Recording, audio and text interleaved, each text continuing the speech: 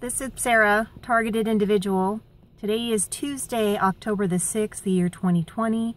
It's about 2 p.m., adult audience only video.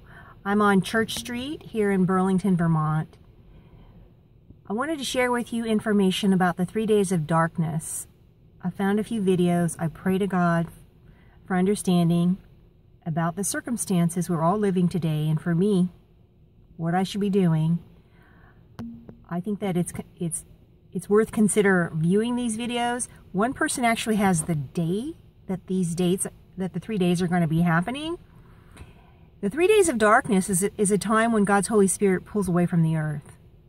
And I've had several times this year where God's Holy Spirit has made it known to me that I should just stay home. So I'm going to post the links in the description. It'll take me a few minutes. I have to find the video. Please consider viewing it. All right, I've got to go.